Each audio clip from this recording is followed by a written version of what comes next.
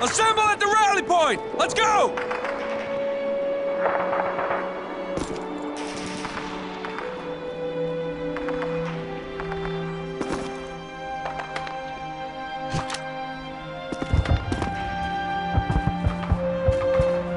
Damn fine job, you guys. We took on the best troops Germany had to offer and sent them running for their mamas up and down the Rhine.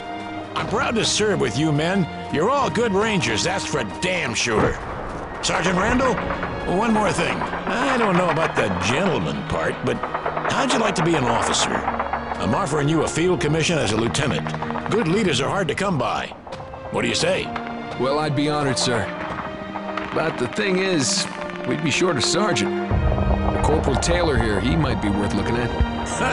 I'll keep that in mind, Lieutenant. See to your men. Dismissed.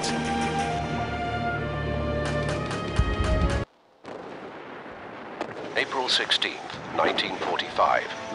The Soviet Red Army commences its attack on Berlin, the capital city of Nazi Germany. Half a million soldiers and civilians alike perish in a terrible battle that lasts for nearly three weeks.